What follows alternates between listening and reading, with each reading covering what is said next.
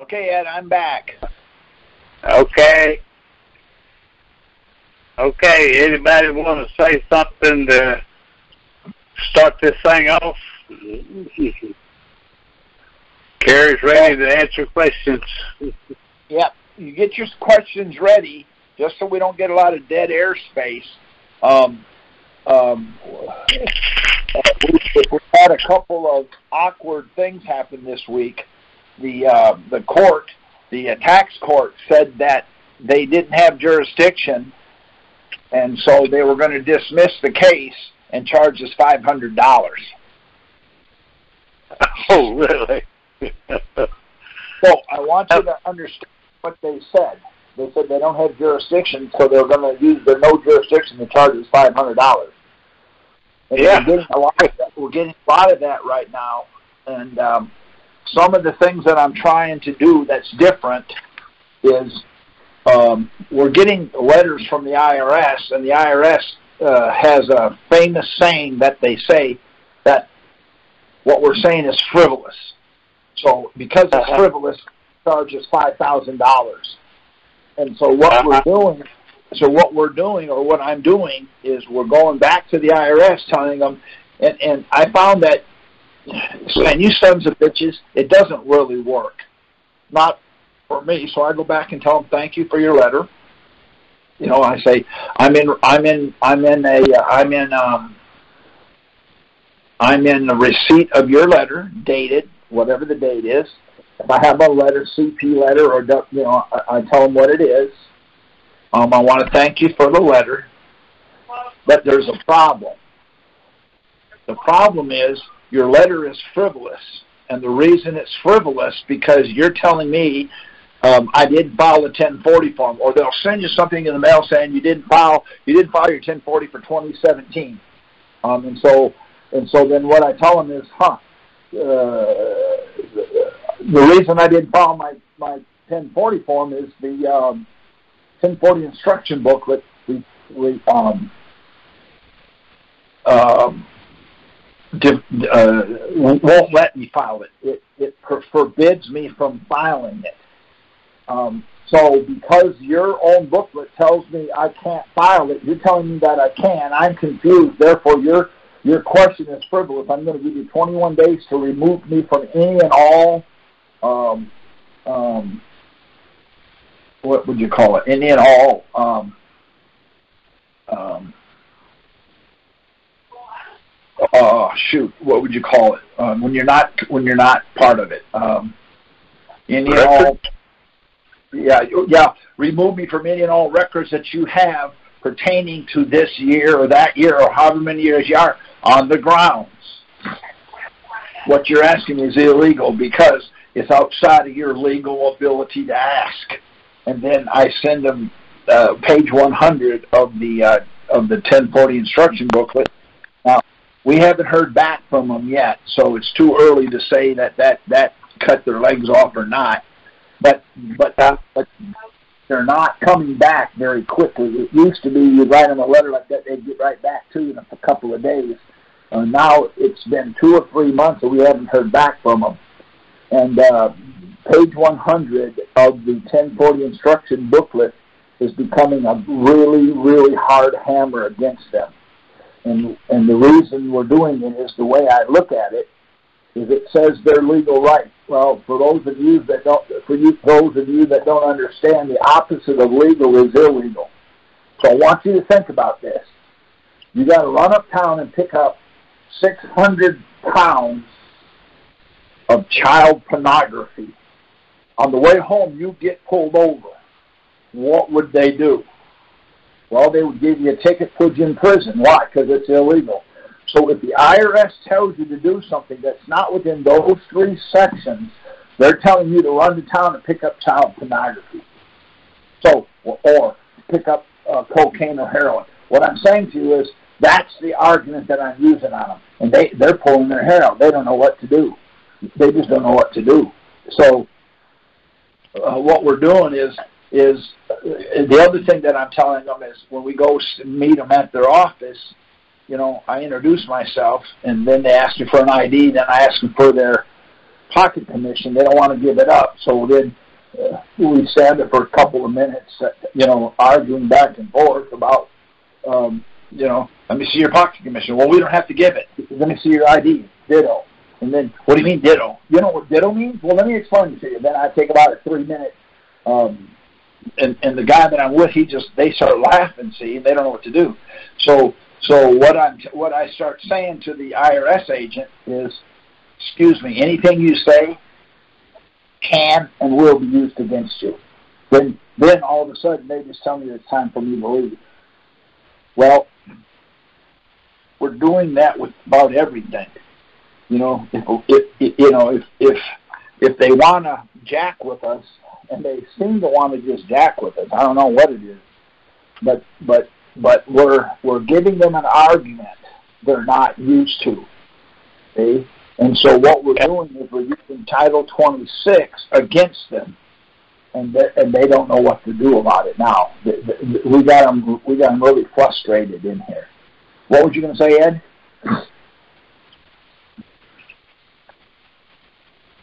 Hey, they did they ever put the correct OMB number on the 1040 form? Uh, I don't know. I don't know if they did or not. Um, I don't think they did. But see, the problem is, let me tell you why that. Again, you can you can use that argument, but let me explain to you why that doesn't work. If anybody's interested, we're going to get them involved now. If anybody's interested in why that doesn't work, um, I can show you from experience, and I'll show it to you in black and white where that where Congress where Congress tells you that won't work. If you're interested, come on come on and ask the question. If you're not, then I'm not I'm just not going to tell you. But I'll show it to you before we go out of here. Is anybody out there? Anybody want to ask a question?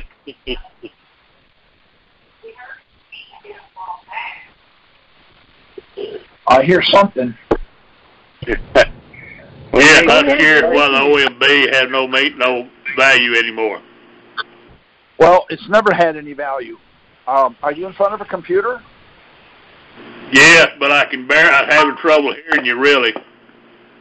So what? okay, is that any better? A little you bit. sound a little muffled. Okay. Okay. Um, um, okay, let me show you what, what let me show you what it says. I want to try to get rid of a lot of these myths because we're, I'm still struggling with people because they call me up and when they want to know why this doesn't work. Um, if you're in front of a computer, go to Title One, Section One, and I'm going to show you where it says in there that that using the OMB numbers is incorrect. Is anybody in front of a computer? Yes, I am. yeah, yeah. Go ahead. Okay, go Title One, Section One.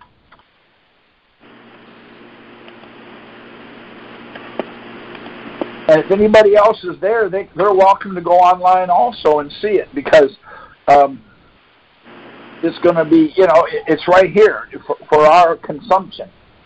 And so when you get it and open it up, it's going to be Title One section, words denoting number, gender, and so forth. Open that up, and then I'm going to go through that and show you where it actually says um, um, um, the OMB number doesn't matter whether it's right or wrong.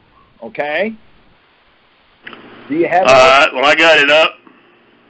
Okay, let's start. Let's start at the beginning. Let's read what it says, and I'm going to stop you. So don't. There's. No, we're not in a race here. So start reading it. I'm going to stop you. All right. In determining the meeting of any act of Congress, unless Stop the right there. Hold on. Stop right right. there. Now, here I'm going to read it to you the way it reads. It says, "In determining the meaning of any act of Congress that has been enacted into positive law and has the right OMB number on it." Doesn't that say that right there? no, Oh, so here's what it says. In determining the meaning of any act of Congress, Title 26 was written by Congress. Title uh, 1040 instructions was written by Congress. The 1040 form was written by Congress. So now we got a problem. Now let's read that next, finish out that line and then stop. unless the context indicates otherwise, Okay, now, since it says unless the context indicates otherwise, then it says, let me read it to you here what it says.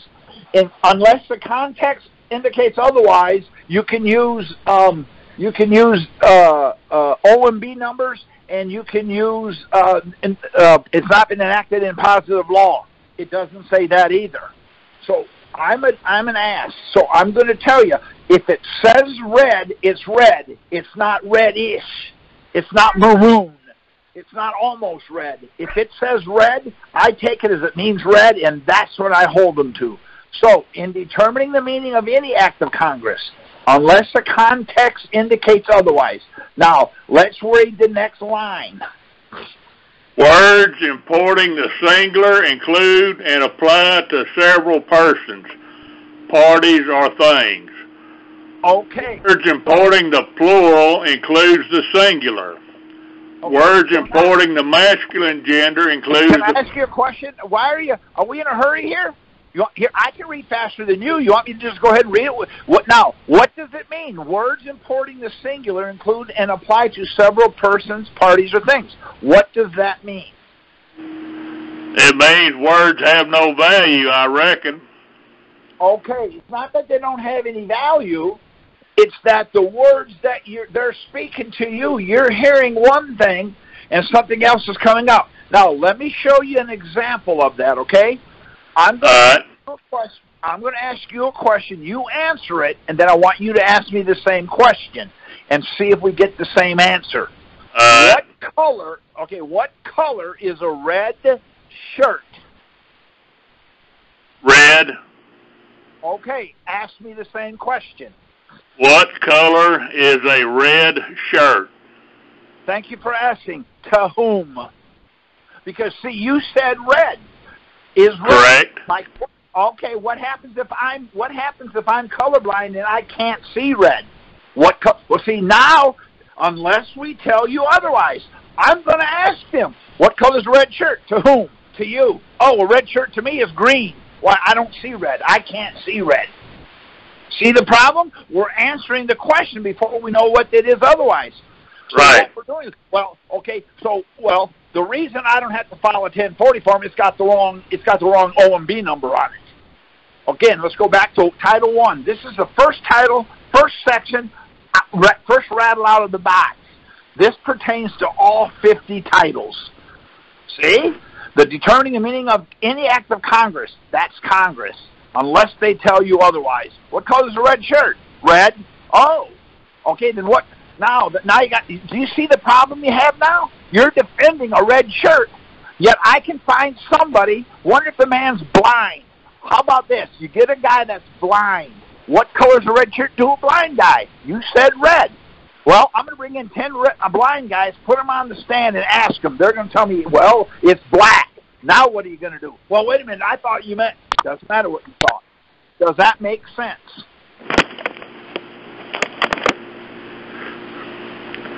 Hello? Does that make sense? Well, uh, not really, but I got somebody beeping in on me, which is a bogus call that I have no concern with hearing. So, okay. But yeah, I can. See, when I asked you the okay, then yeah, but what what we're getting at, or what I got from talking with you so far and reading uh United States Code Title One, Section Word, Section One is that words have no actual meaning. Nope, they haven't. They do have a meaning. They do have a meaning, but you have to ask what the meaning is. Now, let me show you. I'm born in Michigan. In Michigan, we say "you guys." What do you say in, in the state you're in? What do you say? Y'all. Okay. Now, you guys means I I I expose myself to the neighbor lady, and I run around the outside of the house naked. Is that what y'all means? Not by my definition. Well, see, there. Well, wait a minute. I don't care about your definition. We're in trouble with the IRS, and you're answering questions. See, here would have been the best answer to say, I don't know what does you guys mean, so I can answer it. See? Okay. Guys, see, you guys is a slang. See, what we're doing is we're answering the question just like they want it. The other problem that I'm having is I'm getting a lot of TMI. Now, let me show you what I mean by that. The gentleman that I'm talking to, I'm not picking on him. I'm not trying to throw you under the bus. But do you file the 1040 form? Probably not in over 20 years. Okay, do you see what you just did? Not probably not in 20 years. What you did is TMI. Now, I got a two-hour argument in front of a jury. Right, right. What, see, ask me the same question. Have you filed a 1040? I didn't. That's not. I have no idea. It's not time to file one yet. You asked me, did you file one? It ain't time to file one. See, now you're gonna. I'm gonna make you ask the question to where you get the answer. See, that's not what I asked. See, do you file a 1040? That's the question they'll always ask. Not do you file a 1040? No.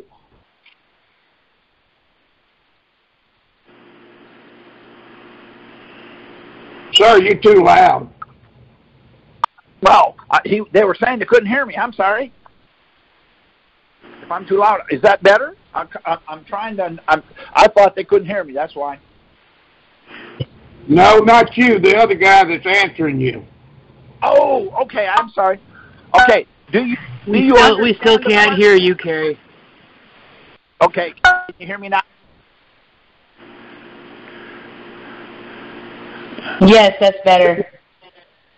Okay. Do Do you understand what I mean by that now? Okay, I'm going to Yes. ask a question. Okay, I'm going to ask a question generically. Please, I want it, I want somebody to answer it. Okay, I want you to have the most. I'm giving you the first choice. You get the most. Pick the very, very most. I'm giving you a choice between 30 or 3. You want the most. Which one do you want? And then I'm going to make you defend it. Okay. Um, I didn't say anything about silence. Okay. What does 30 stand for? uh, uh, it's a it's a it's it, it's it's less than 31 and more than 29. So you want to have the most. You want to collect the most. You want to get the most. You want 30 or do you want 3? Is 3 more than 30? You tell me. I'm asking you. See? Now you want to do it. That was brilliant. Do you see that? Okay. So what all right, my question to you is what do you think is more, 30 or 3? All I'm going to do is say why and then I'll explain it to you. That's why what you just said, see how valuable that is? But yet when I asked you what color is a red shirt, you said red. Well, it is red to some people. To a blind guy, it ain't red. See, to to somebody who's outside in a snowstorm with when it's got snow packed on it, it might not be red. So there's conditions when a red shirt's not red. That's why we ask. Now, you want the most? Do you want 30 or do you want 3? Which one is the most? I don't know. You have to tell me. Okay, let me finish the story. We're playing poker. Aces have one spot on them. So if you have three aces, you have three. Tens have ten spots on them. If you have three tens, you have 30. Which one's the most? 30. Really? So three tens is bigger and larger and more than three aces in a poker game? Well, I understood you to say they were uh, had three eights, which which would be 27 instead of 30, according No, to my calculation. No, which I said, okay, an ace has one spot. So if you have three aces, you have three. There's the three. Three tens is 30. You're playing poker. Which one's the most? It's the aces. See, that's why I do what I do. That's why I'm trying to show you, instead of TMI, too much information, when they ask me one question, they get one answer. They might have to ask six questions to get one answer. But because I do that protects me unless we tell you otherwise. Doesn't that make sense?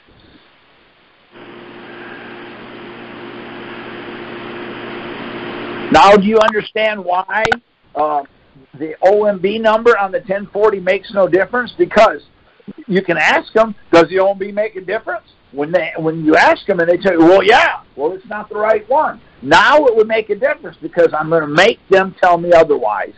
For me to just uh, assume it, then it doesn't make any difference. So I'm going to pick something that I can always have sure footing. Does anybody else have a question that I could ask for them, answer for them? Now I don't have all the answers. I only have them the way I think. I only have them the way I do stuff. If you have a question, then I would like to try my best to answer it for you so that we can get some of this stuff that we have, we can start turning around the evil that we have. So uh, I have the order from the United States Tax Court. Do I order uh, certified copies? I mean, that's that'd be a question I'd like to ask. Okay, let me ask you a question. Do you want a certified copy? Well, I think it'd be handy. I, am looking online here. Okay, then, then, then I would then I would do that. But I would, if you're going to do it, get more than one. Now, you, how long have you had your uh, court order? Uh, it was March fourth. Okay, so you've had it a while.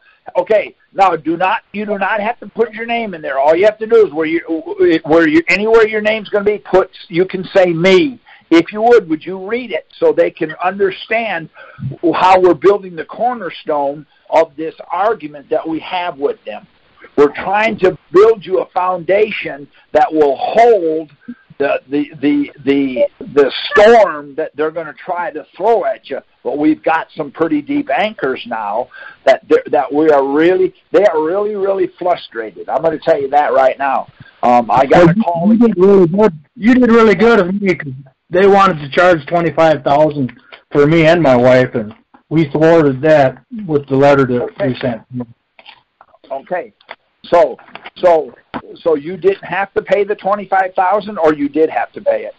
I was dismissed. The judge dismissed that. It's in this order, he said.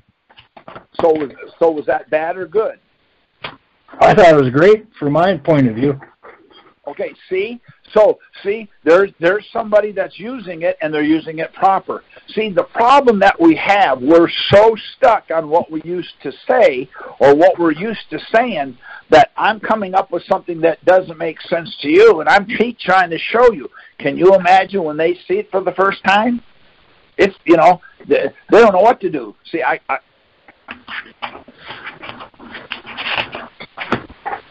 Okay. Oh. Uh, you went out there for a little bit. Yeah, I'm still here. Oh, okay.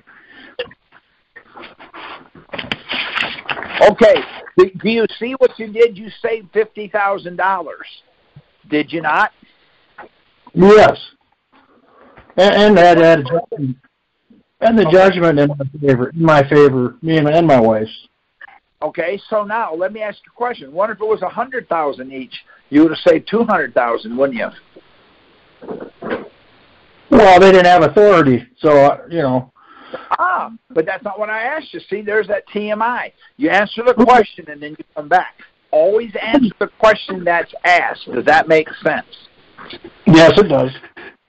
See, because what you did now, now I'm going to say, oh, well, what did they say? Well, when did they say? Who said it? How long did it say? See, you're going to end up burying yourself, and you're going to end up saying something. You're going to say, God, I shouldn't have said that. Does that make sense to you? Yes, it does. Okay, now let me ask you a question, okay? Um, um, I'm going to be a little bit ugly here, but okay. Does a fart stink?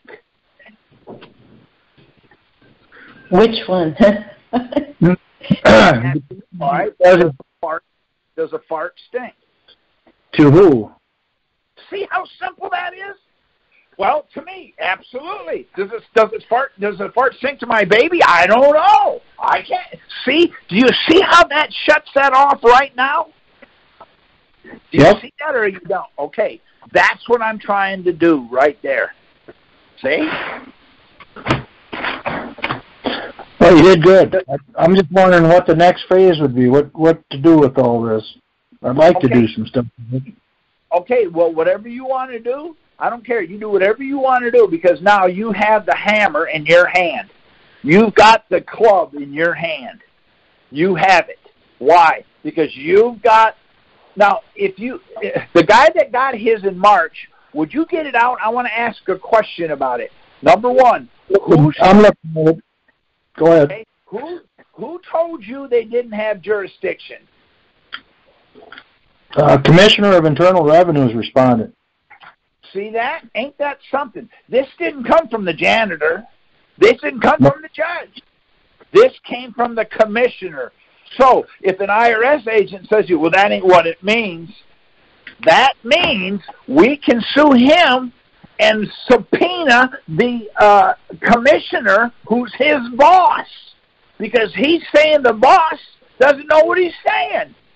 That's how I'm using it. See, when I write a letter to them, I'll say something. I'm just using. I'm saying something. I got a letter. Uh, you didn't file a tax return, or you did something. You don't. This, according to the commissioner of the Internal Revenue Service, I put a parentheses. The boss said they don't have jurisdiction. See Exhibit A. Then I mail it back. Let them tell me that's not what it says. Because as soon as they tell me that's not what it says, you cannot sue the IRS or the agent in the United States District Court because the United States District Court doesn't have jurisdiction on the IMF. But you can sue them if they lie. So they lied and said that's not what it says. Now I can I can take my my my court order or my court lawsuit to the federal district court under a federal question. The question is, Your Honor, is it okay if the IRS agent lies to to to to uh, advance his agenda? See, because he said that that's not what it says, but yet the commissioner said so. So what we're doing is we're able to take what they say and motivate us or manipulate it towards to our advantage. See, when when the uh, when the IRS sends a letter saying, "Well, that's a, you, your your your your question or your answer or your letter or your whatever your your whatever it is is frivolous," my answer is, "Well, of course it's frivolous. It's frivolous because you told me to do a 1040." See, now I turn that around. Everything they say can and will be used against them. So if they tell me that my letter is frivolous, well, of course it's frivolous. You sent me a letter in the mail saying that I had to uh, stick my left finger in my right eye. That doesn't make it, that's frivolous, but I'll answer you. So you're right, it is frivolous because of your letter that prompted me to answer it. It's frivolous. Now I've got something that I can build according to 6001, 6011, 6012A, what you're asking me is outside of your legal right. Therefore, the only way I can take it is what you're doing is you're pushing something illegal. When I go to the federal court, I can ask the federal judge, is it okay if the IRS uh, tells me to um, sell child pornography? Can I? Can he tell me to do that? Is it okay if the uh, if the uh, if the uh, IRS agent tells me to sell cocaine? Is that okay? That's illegal. Can they do that? See, I don't use those harsh words, but, but can the IRS agent tell me to do something that's illegal? Can they do that? Well, of course they can. Now I got them because on page 100 of the 1040, it tells me anything outside of this area is illegal. See? Now I got them. Does that make any sense to anybody?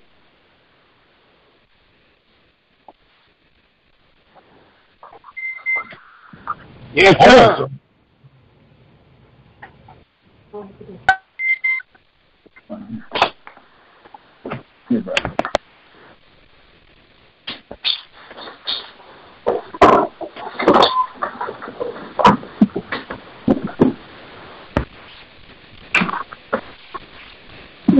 Does that make any sense to anybody? Yes, it does. See? Now, okay, the guy that said yes, it does. May I ask you a question? Yes. Yes. Okay. Okay. What color is a banana? Depends on how ripe. See how simple that was? Because if you say yellow, I would ask you, well, is it possible to have a green one? Well, yeah. So you lied. You lie. Not, did you lie all the time or just here? Is it possible to have a brown one? Well, yeah. Is it possible to have a black one? Yeah.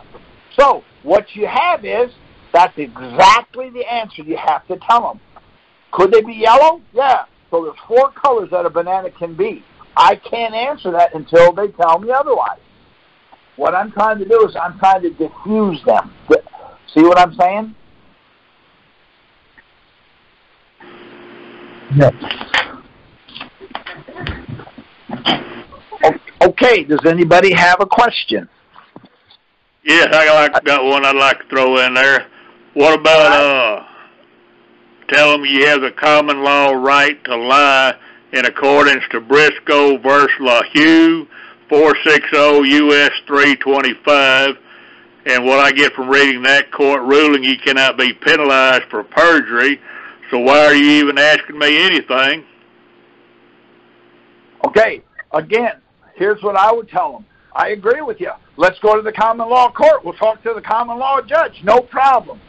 See, I'm going to use, let me say this, anything they say can and will be used against them by me. So under common law, good. I didn't know we were under common law. I thought I was under Title 26. That's a statute. Duh. So if a statute, huh, then I don't have to pay taxes because you're under common law. That's what I would do. Then I would take over and I would take over the conversation and I'd beat the man to death with it. That's what I would do. See, because if we're under common law, cool. Under common law, the Constitution says you can't, um, you can't uh, tax my income. Under the under common law, the con. See, now I'm going to use the Constitution on it. The reason we can't use the Constitution because we're under the statutes. I don't care what they use. See, so under common law they can lie. That's perfect, bud. That's perfect. See, no problem. See, then I'm going to take that. Then I'm going to take him to the federal district court under common law. He's done under common law, but yet he's telling me that I owe money on my income taxes But because of Title 26, 6104.326.1a GQ, whatever. So how can I? So my question is, how do you stand on a boat and stand on the dry ground at the same time? What you don't see a problem with that? Put one leg in the boat and one leg on the, on the dock. What's going to happen?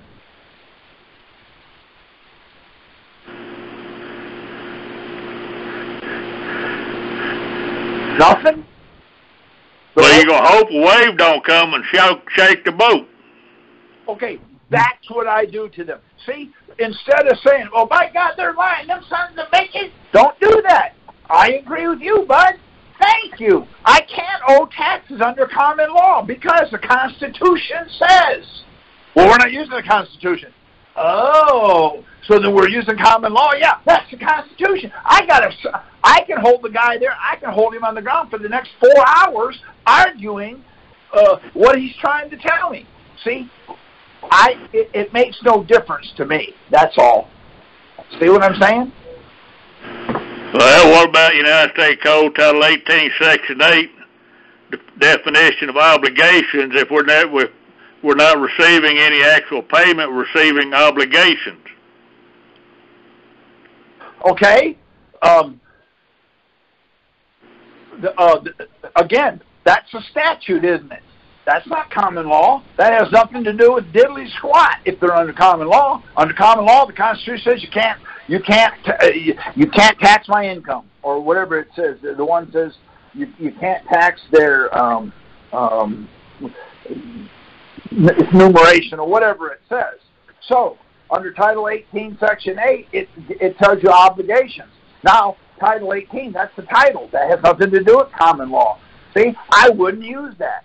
What I would use, see, what I would use is I use what I got to use at that moment see, the judge told me that um, I have to pay. I had to pay something, and I said, "Golly, what do you want me to pay?" And he said, "U.S. currency." I said, "Man, thank you, thank you, thank you. I'm so excited." So I went to the bank, took a check, laid the check on the counter and asked the teller, I want U.S. currency for this check. This check is for $327.09.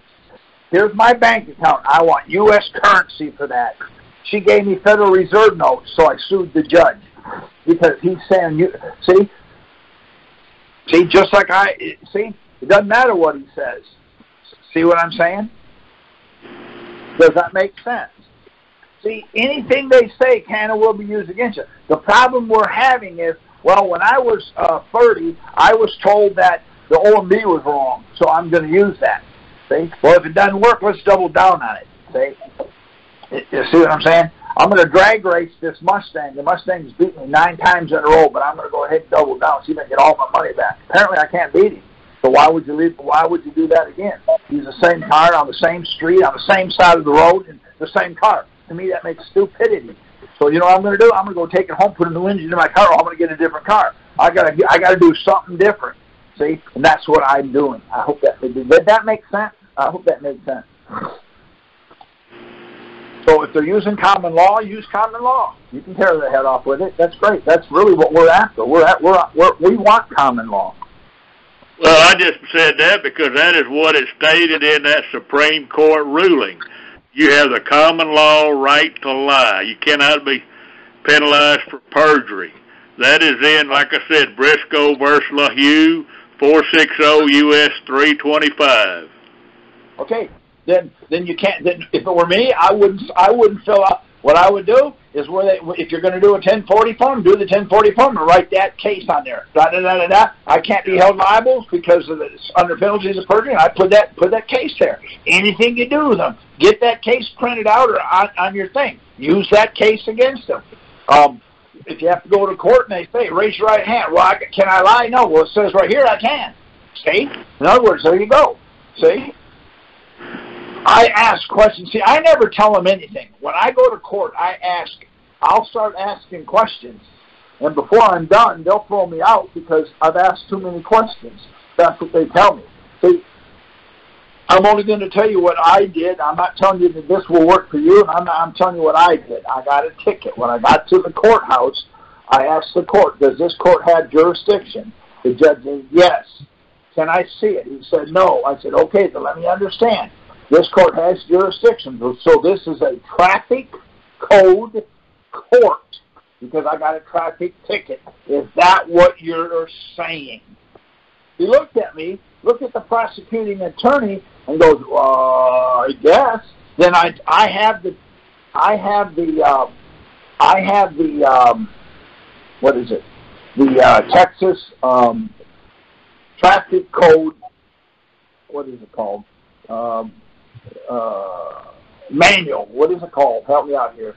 I got the uh, traffic code printed out. It's 54 point something. I go to the page and say, okay, let me read this to you. Under page so and so, line so and so, it says the traffic code is for commercial use only. So now I've already said transportation. Transportation code. There you go. Department of Transportation. See, okay, what I do is I set it up when I walk in the door. I don't get, you know, um, so the, the guy that was telling me about that common law lie, can I ask you a quick question? Yes. Okay, when you walk into the courtroom and the judge, t- uh, uh, I'm going to ask you, uh, it's going to be several, but how do you give the court jurisdiction? How do I give it jurisdiction? How do you give jurisdiction to the court?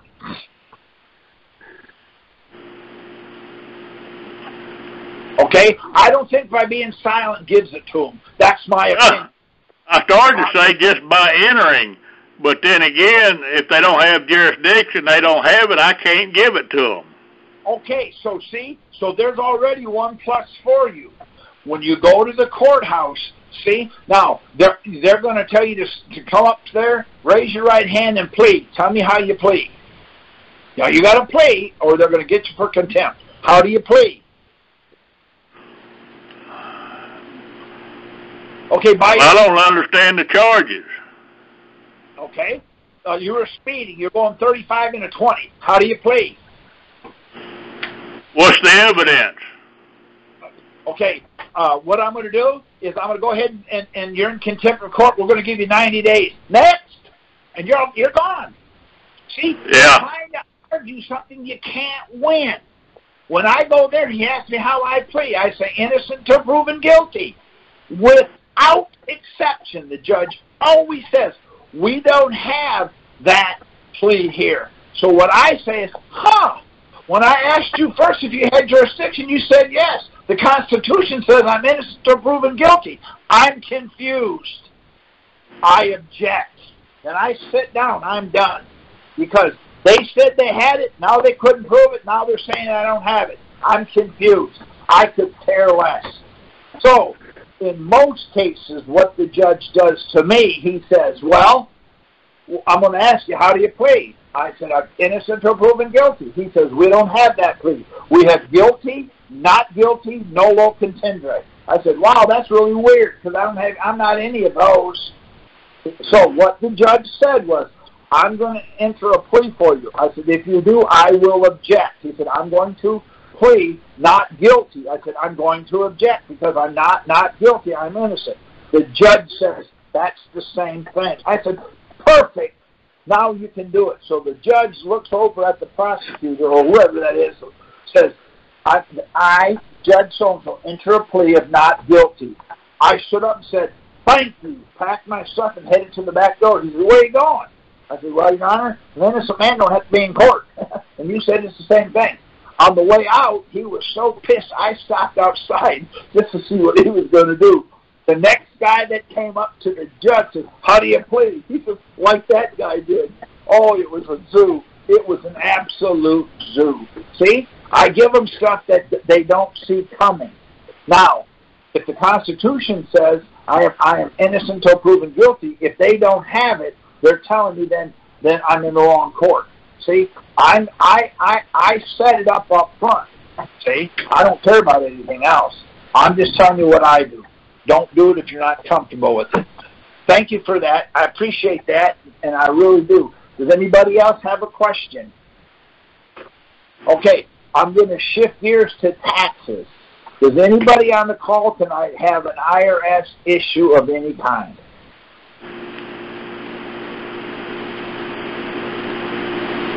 Okay, then we got them all. Hot dog. We got them all. Now, we don't have an IRS question. We got a question about taxes on our homes. Well, let me try to explain it to you. On your home, does your, is your home got a homestead on it? No. Okay. If, okay, what you have to understand, in order for the state to put, to give you to tax your home, they have to have jurisdiction, correct? Correct. All right. Um, you know, you know what the word uh, form? If somebody's a whole lot of noise, Ed, you can't uh, keep them out. Somebody needs to mute. There you go. Thank you. Can you hear me now?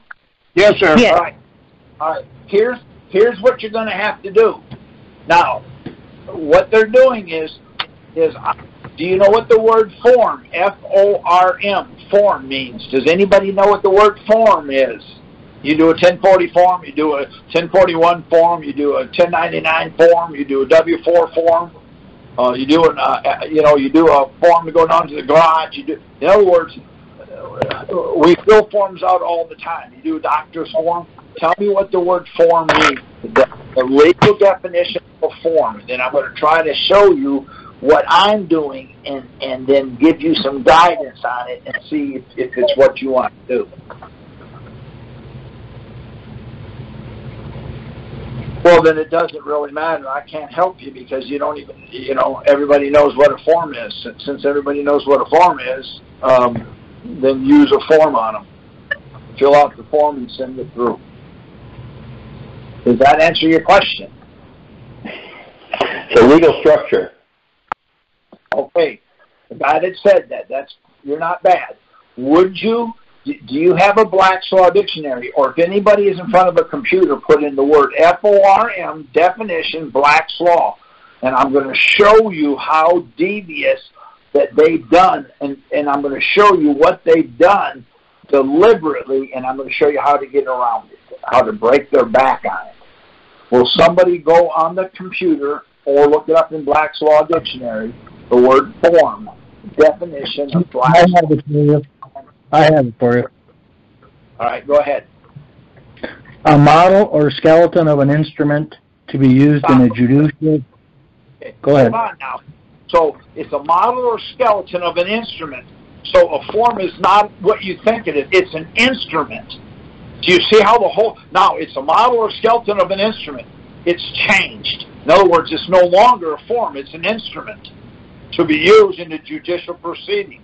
That is a court of law. Now, let's pick it up from there and let's finish it out. And I'm going to explain it to you and how I, what I'm doing. Go ahead, do it again. Finish It's it. a model, a form, a model or skeleton of an instrument to be used in a judicial proceeding containing principal necessary matters, the proper technical terms or phrases, and whatever else is necessary to make it formally correct. Arranged in proper. Go ahead. Go ahead. Arranged. Go ahead. I'm sorry. No, oh, arranged in proper and methodical order and capable of being adapted to the circumstances of the specific. Now, if you would, we're going to tie these two together, and I'm going to show you how what they're doing to us. For those of you that didn't know it, that's what we have. If you would put an instrument definition, Black's law. Now we're going to show you what one is because it's telling you it's an instrument. See what I'm saying? Okay. Now, we got to understand this. It goes back to this is the jurisdictional thing that I I've become uh, active in. Now, when you get that, I want you to read it, and then I'm going to stop you along the way so I can show you what they're doing to us, and then I'm going to show you what I'm doing to circumvent all this. I'm ready when you are. Go right ahead and read it. Uh, legal instrument is a legal term of art that is used for any formally executed written document that can be formally attributed to its author, records, and formally expresses a legal enforceable act, process, or contractual duty, obligation, or right, and therefore evidences that act, process, or agreement. So, did you know that's what a form was? It's a contract obligation, I guess. Okay, it's also a will. It, uh, see, in other words, it when you do a 1040 form, you got a contract unilaterally with the Internal Revenue Service that you're going to define something such as income. Now, uh, I want you to put that on hold for just a minute because what I'm going to try to do is I'm going to ask you, do you know what income is? You're paying. You got to pay in. You got to pay taxes on your income. So does do you know what income is? Would you define it for me? And then I'm going to show it to you what Congress calls it. Well, that, what Congress calls income is a gift or, or uh, that, bequestment or gift. That's A true gift income. Okay, see? So that's part of the reason this is going this way. So what you have is, um, so so what I have done is I said, huh, they have a 1040 and it works really well. So I made my own form. I have a form and I call it a 1020. Now, you can call it anything you want, 777, a 9241, but the word form, F-O-R-M, is on there, and that's important because my 1020 form goes in there and asks the county certain questions. Now, it's an instrument to be used in a court of law. If they don't fill it out, I can use it against them. If they fill it out, I can use it against them. And I put that right in there. This form is a legal binding document. If you don't fill it out, you agree with the legal binding document. Now it's an instrument. I can take that instrument into court and say, they're asking me to pay them with something and I don't understand it. I'm not an attorney, so they wouldn't fill out the form that they were obligated to. Now, the 1040 has a 1040 form and then they put an instruction booklet with it. I do a 1020 form and I do a cover letter. My cover letter, I tell them, uh, I get my 10, my 1020 looks very similar to a 1040 and it and it's got questions on it that they're supposed to fill out. Then it tells them to sign it on the penalties of perjury, return this to, just like I do the 1040. Then I take my 1020 instructions and I tell them this 1020 form is a legal binding document.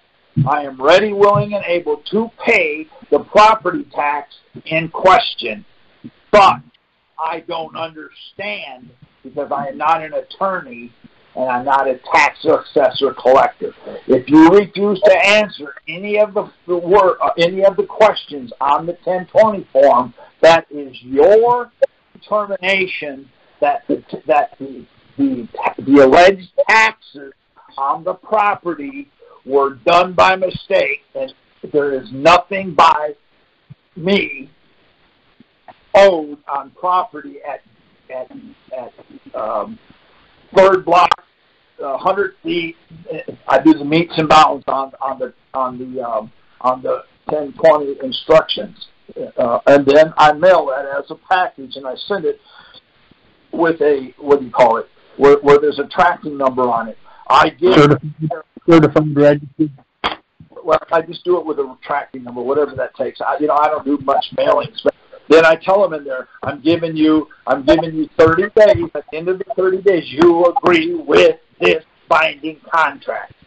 Then I do a fault, and the reason I do the fault because I'm giving you this fault in case you changed your mind. If you don't answer the fault, you have agreed twice with the binding contract. Then I do a third time. I do the default, take the default down to the county, have it stamped, and I write a cover letter saying, with this default, uh, property taxes, school taxes, jackleg taxes, whatever taxes are paid in full by the binding contract of the 1020 form that you refuse to file. I mail that to them. Now I've got something. If I'm sued when I go to court, I'm not. I'm not standing there butt naked. I've got. Can I ask you a question, Gary? Can I ask you a question about that? So now, uh, me and you did this. This is Lance from Minnesota. Um, I had to pay him because the sheriff was coming out, but could I still get that stamped and request a refund now at this point in time? Yes. Uh, she admitted in the letter she received the ten twenty three times. I mean, I, she responded. Right. See, what the problem is, they think they're above the law. See?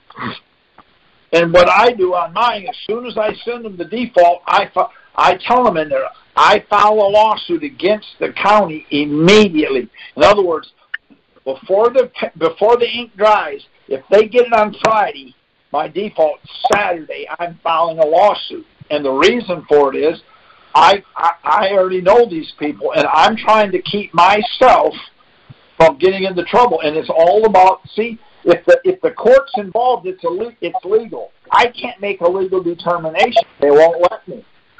See. So, so you, there, there's another thing you can put in your cover letter. If you don't answer me, you're saying that uh, that not being an attorney, I can make a legal determination, and I determine that. that.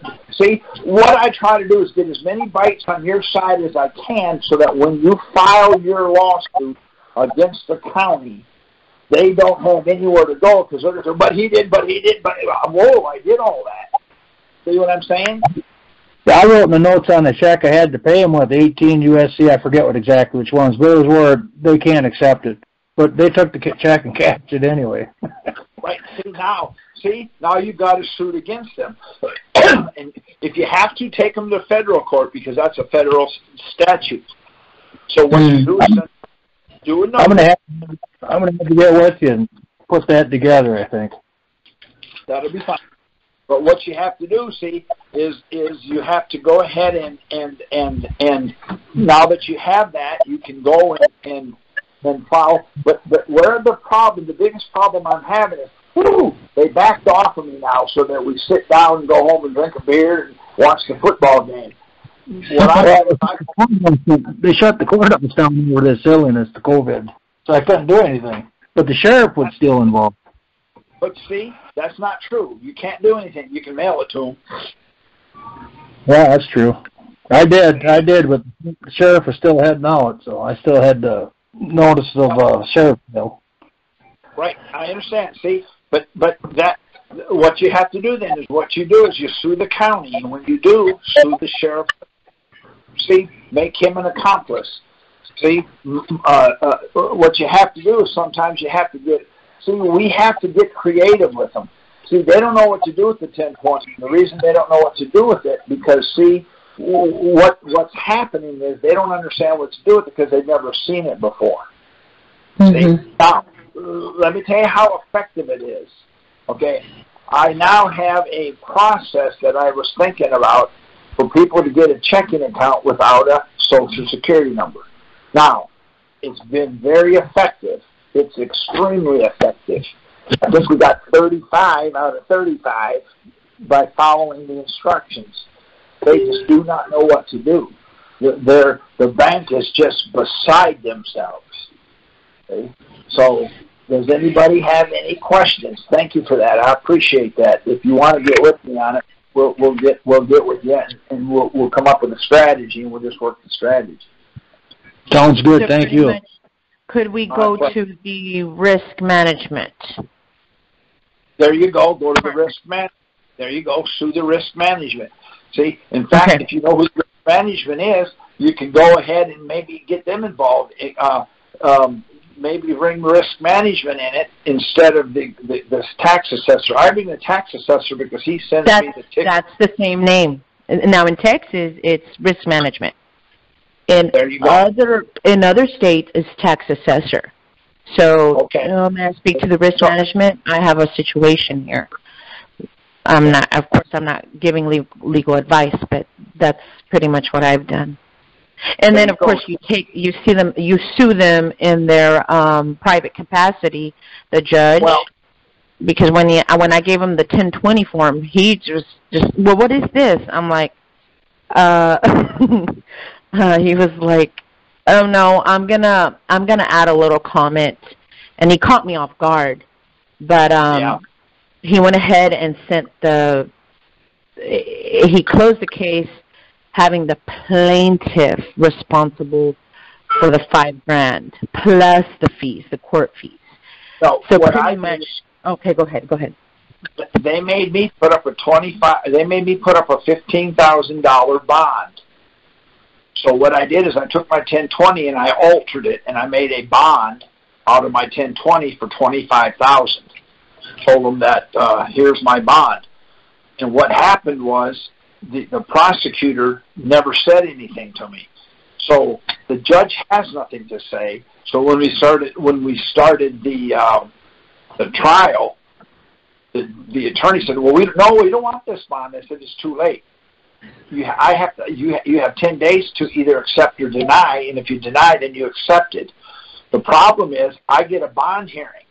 Well, they didn't know what to do with me, so so I wrote my own bond, and uh, I ended up going there, and the judge said, "Look, this is just so screwed up." He said, "I don't even know what we're doing." He said, "We're going to go ahead and we're going to go ahead and do a." Um, uh, a continuance on this, and it's been 11 months. So I don't know what they're going to do because because they won't give me my bond back.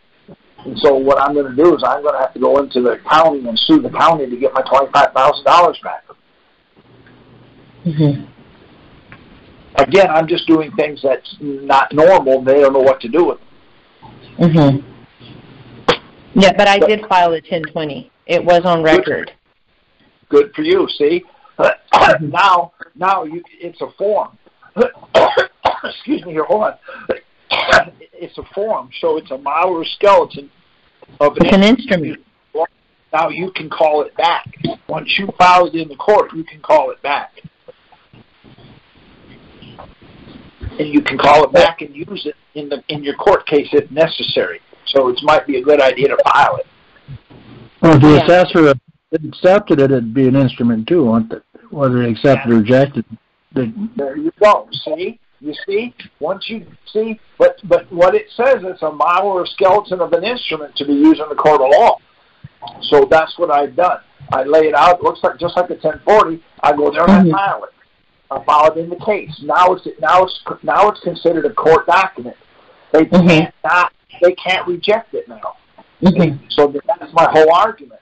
When we get to the court, wait a second now. See, I asked the judge. I said, well, "You said I owed just you said I owed nine hundred and fifty-one. Um, I'm pretty willing and able to pay it today, but we, I got a, a 1020 form that hasn't been signed. So on the way out, what do I leave him? He, he says that the judge tells me. He says, "Okay, um, we want money. I said, not a problem. Thank you so very much. I want to thank you for your service. I said, with that money that you want, can I buy property with it? He said, yes. I said, no problem. Would you give me two weeks? He said, absolutely. So I went home and took nine hundred and fifty-one dollars out of my monopoly set, went back, put it in an envelope, and gave it to him. He said, "What's this?" I said, "You said to buy property." I said, "Boardwalk's property. Therefore, that's property, and that will pay for the property." He looked at me and, and judge said, you son of a bitch. I said, thank you very much. I appreciate that. And he took it, put it down, and I left. I've never heard another word from him. So, so what I try to do, see, I never tell them anything. I ask questions. Doesn't that make sense?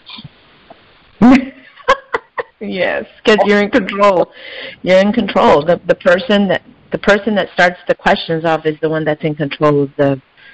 Correct. Pretty much. The lady that Okay, the lady that's speaking right there, can I ask you a question?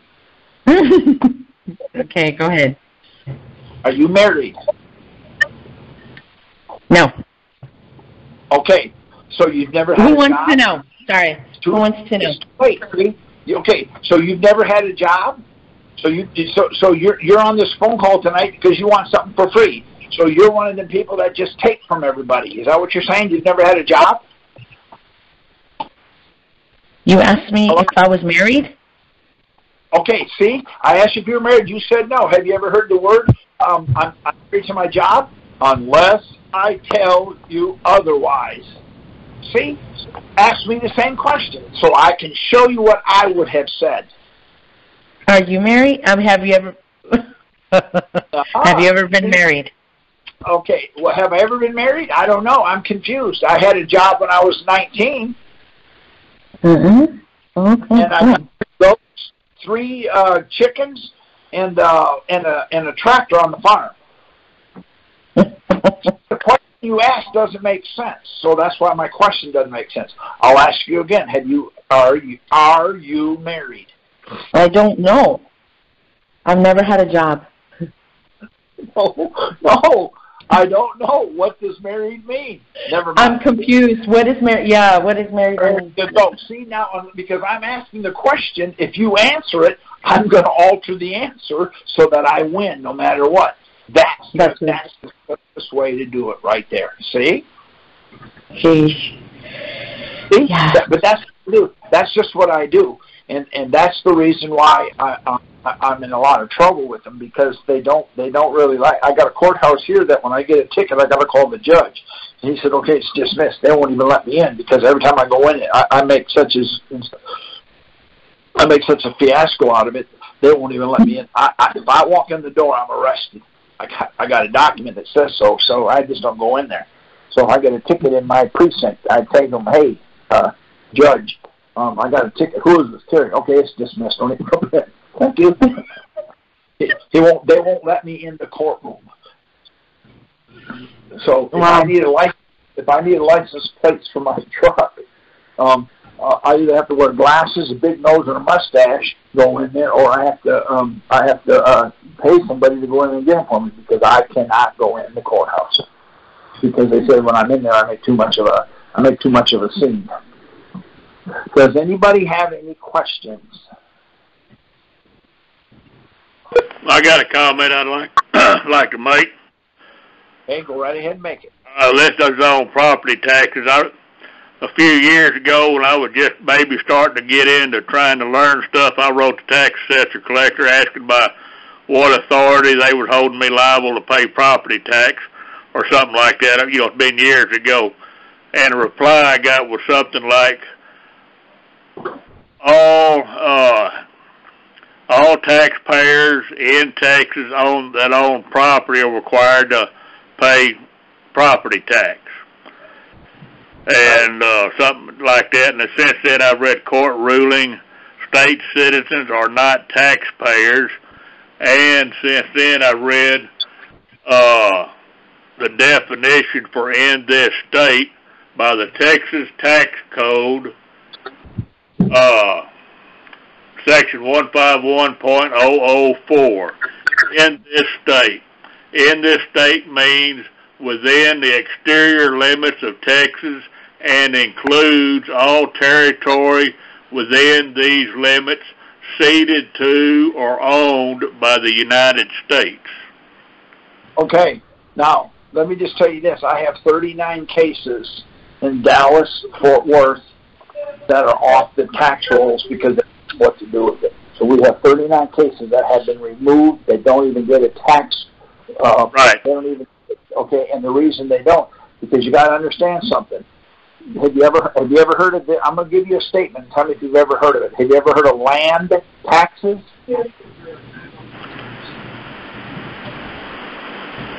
No.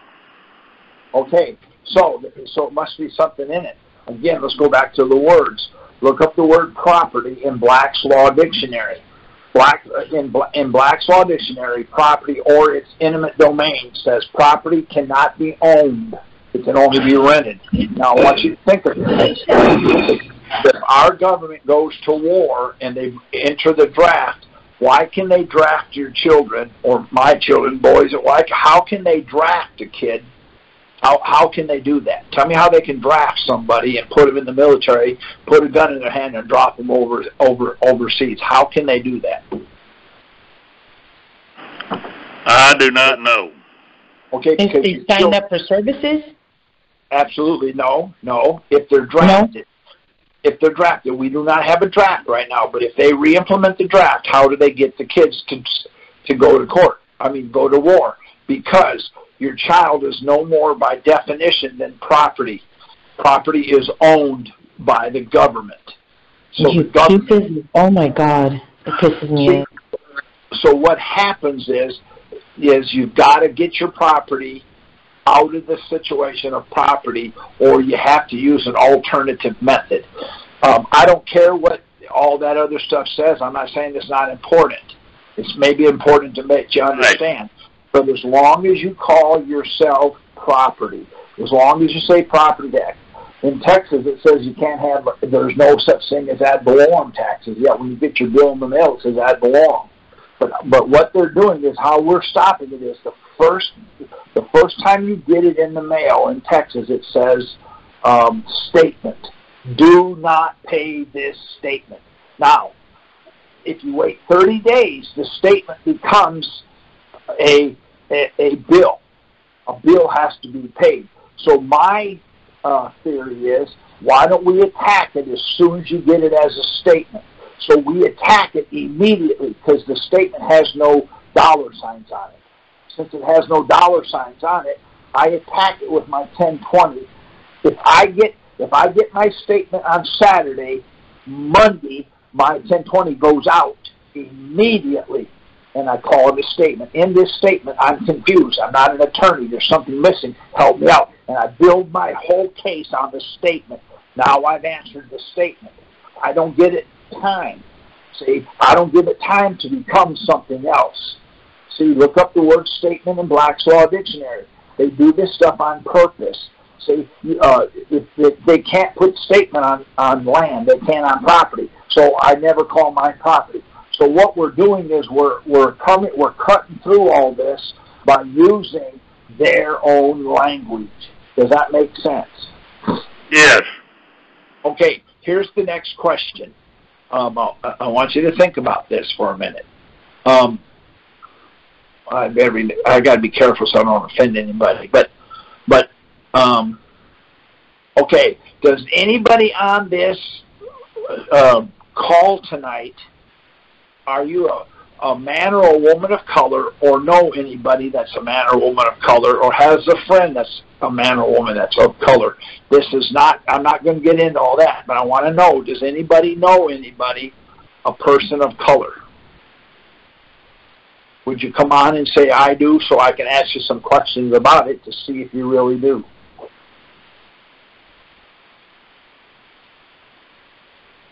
Okay, I'll take it for that that nobody knows anybody a person of color. Okay, the lady that was just on here, can I ask you a question?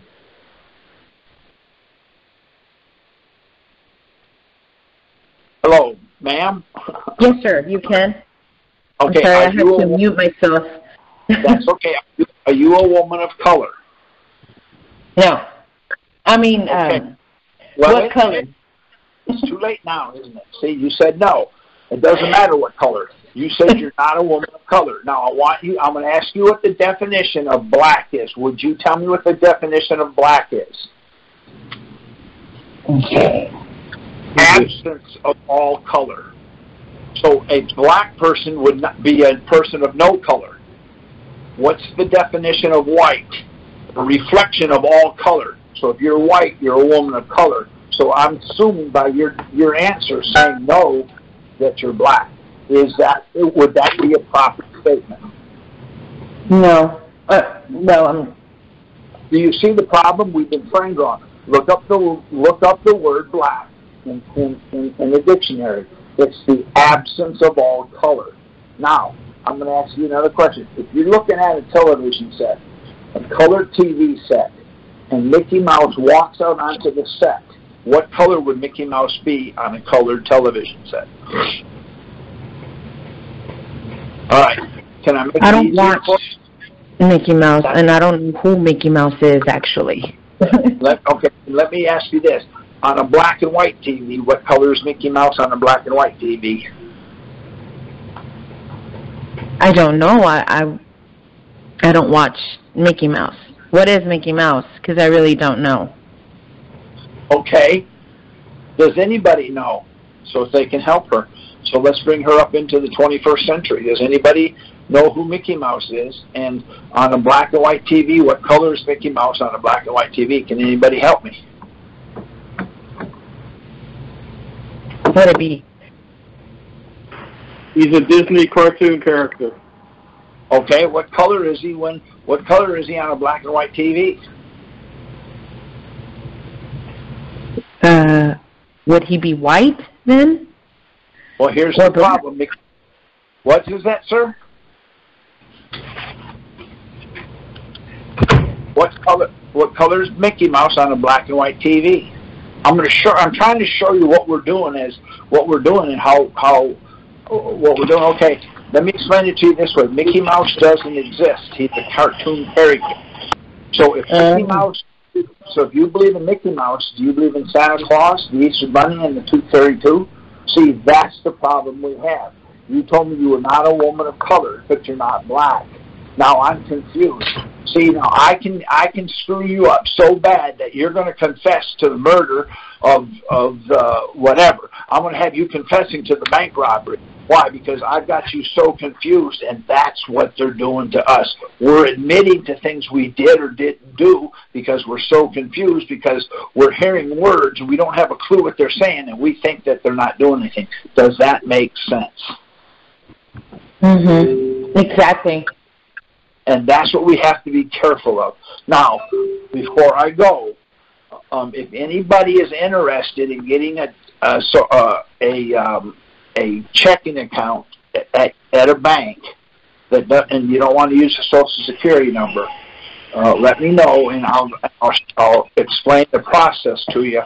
And it, If you have time to talk about it, that'd be great.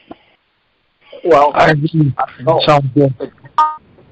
it's up to you guys because we're pushing. Uh, let me see. We have we have a few minutes. Okay, let me explain it to you what I do and how it works. I go to the bank. When I go in there, I never panic. I'm very relaxed and laid back, and I basically say, um, "I'm trying to open a checking account. Um, can I do that here?" They're very nice. Well, of course. Then I go into the office and sit down, or I stand up, or I sit my thumb up my bottom side, whatever they ask me to do. I sit there and they and they'll they'll ask me questions, but I try to ask them questions also. Here's the questions that I ask at the same time they're asking me. They're going to ask me for my first name, my last name, my address, my phone number. That's what they're going to ask me. And during that time, I'm going to ask them, "Wow, um, uh, uh, I don't see a a law firm in this branch? Or if I do, is that the law firm? It doesn't matter what I do, but I ask them who the law firm is. They'll give that to me because I want me to get a checking account.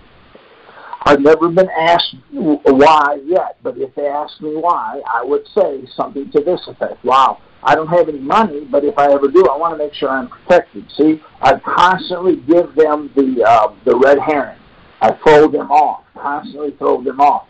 Then I'm going to say, they're going to say your name. I give it to them. Then I'm going to say, wow, since you don't have a, a, a law firm in house, do, what do you use? One local? Well, yeah, we use uh, Dewey, Cheatham, and Howe. Oh, so Dewey, Cheatham, and Howe is that the is that the one right over here? The, yes, that's our that's the one we use.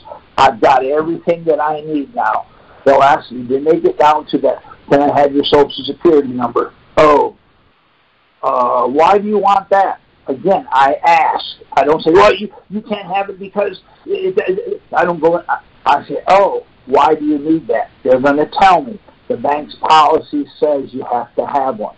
Then my answer is, oh, we have a problem. My religion says the social security number is the mark of the beast, and we are forbidden to use it by my religion. And then I shut my mouth. They don't know what to do now. Well, then we can't give you one. Okay, so you can't give me one because of my religion. Is that what you're saying? No. We're saying we we can't give you one because you won't give us a social security number. My my religion says I can't use one because it's it's the mark of the beast. Then I hand them that I already have pre-printed the First Amendment of the United States, highlighted. Then I, give, then I give them the Texas Constitution that says freedom of religion, and I hand that to them. They just gave me Dewey's, Cheatham, and Howe, so I've got the law firm that I need. I usually don't get one that time, so I will leave and say, "Well, thank you so much." I write a letter to the to the attorneys, and I basically say, I went to see a, one of your banks that you represent, and they told me that I could not have an account there because of my religion. Is it the bank's policy to to to uh, be prejudiced prejudicial against a man's color, creed, sexual orientation, and religion? Is that the is that the policy of the bank? And I send it to them. That's what they always say.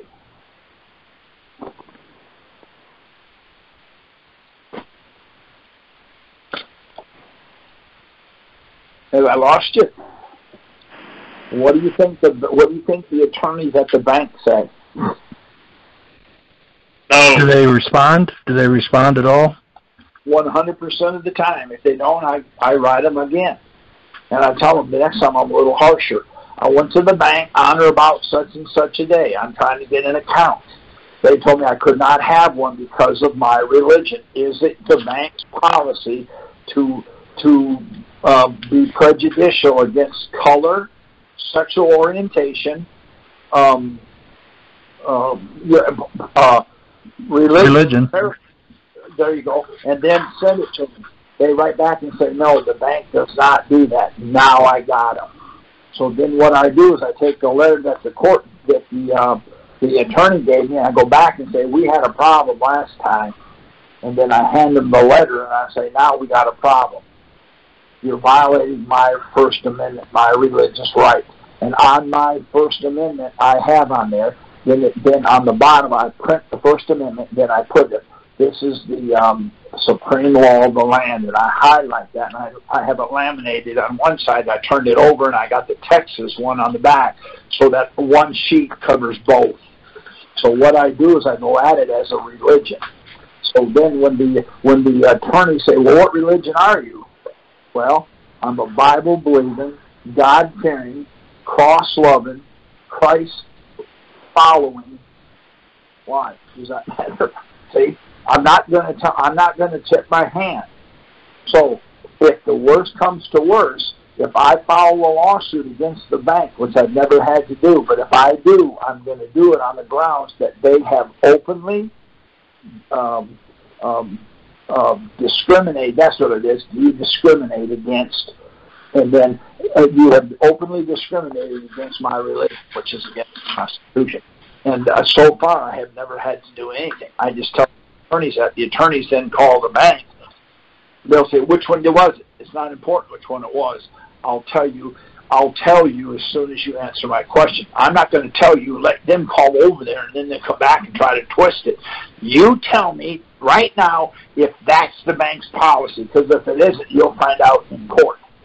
They always tell me no. Now I got them because see what, what then I say. Okay, well uh, the bank on First and Third downtown Dallas seven six eight eight one whatever it is. They're the ones that told me I could not have a bank account because of my religion. See, now they got a problem. And the reason I came up with that is um, I'm a contractor, and I was working at the airport, and I was I was working in Houston at the Intercontinental Airport.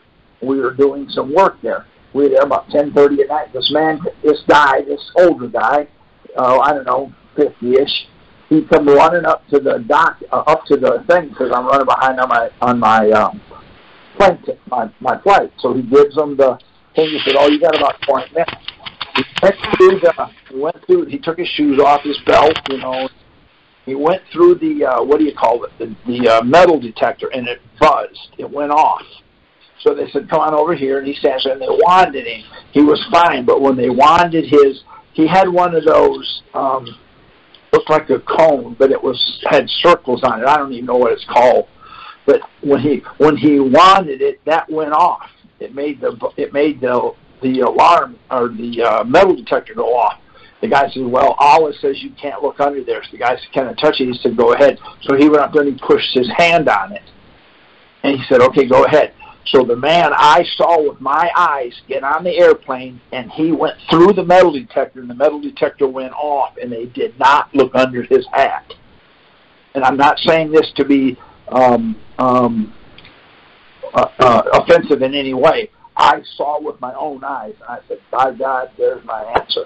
The next day I went and got my first bank account without a social security number and I got four more since then. So I have four and um, we everybody that I run with now has one from different banks and don't matter what bank because I'm not getting it because you can't ask for a social security number because of Title 18 Section 426 or because of the so, so because of I don't I don't do that.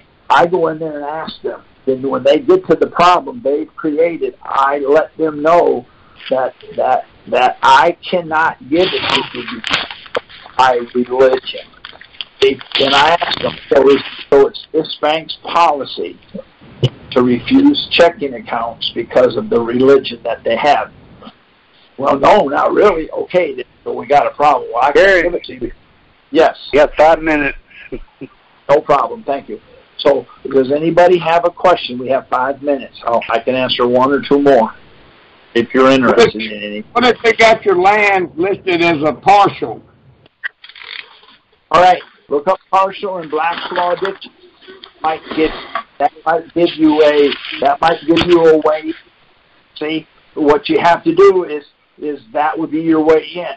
See, uh, go in there and maybe file some paperwork as the as your partial is not partial, it's land.